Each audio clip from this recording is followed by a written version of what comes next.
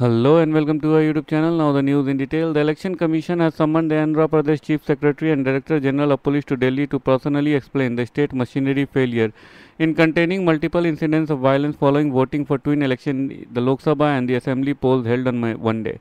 The EC, which in March had warned political parties in the poll against poll related classes when the polling date was announced, has told the Chief Secretary Jawahar Reddy and the DGP Chief Harish Kumar Gupta, who has been appointed by the poll body last week after the predecessor were transferred on complaint of bias to take step to guard against violence for as long as the model code is in place.